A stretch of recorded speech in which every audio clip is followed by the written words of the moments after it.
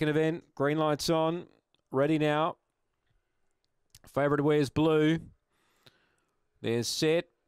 Racing, Foreshadow began pretty well. He wanted to get off the track, showing speed, Finis Burn, but Foreshadow, oh, he accelerates quickly, the debutant. Put up three lengths on them now. Jalapeno Lad went to second, but the favourite's often gone. Third is Spring Pony, four lengths to Vanilla Slick, and last is Finis Burn. Foreshadows really tearing along in the lead. Led by five lengths, Jalapeno Lad tries to stick on. They turn the bend, Foreshadows clear. Jalapeno Lad is really sticking on bravely. But Foreshadow looked to be going good time. One by three to Jalapeno Lad. Spring Pony third. Fourth either Vanilla Slick or Finis Burn.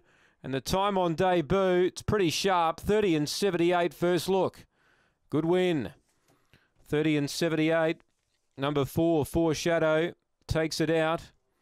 Five is second, Jalapeno Lad. And number eight, Spring Pony third. Seven gets fourth, Vanilla Slick.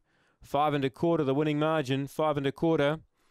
And number four, Foreshadow on debut. Wanted to do a little bit wrong early. Wanted to get off the track, but uh, he's got a motor. 30 and 78 on debut is pretty good. Four, five, eight, seven, race number two at Angle Park.